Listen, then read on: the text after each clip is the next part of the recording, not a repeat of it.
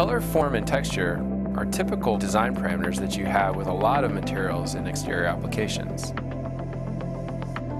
But when you add an element of translucency, it can take your exterior design to a whole new level.